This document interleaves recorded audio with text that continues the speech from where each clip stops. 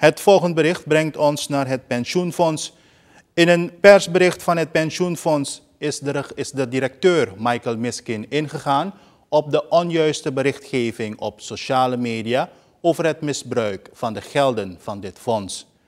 Op social media circuleert een bericht waarin wordt beweerd dat de regering gelden van het pensioenfonds Suriname heeft opgenomen en gebruikt.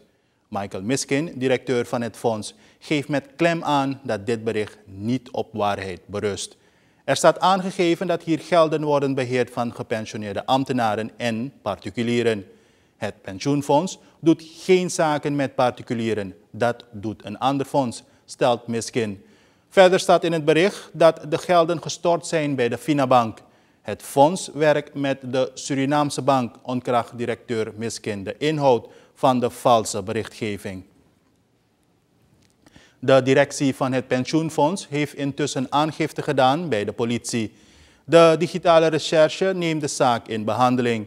De directeur hoopt dat de daders achterhaald kunnen worden en de nodige straf opgelegd krijgen.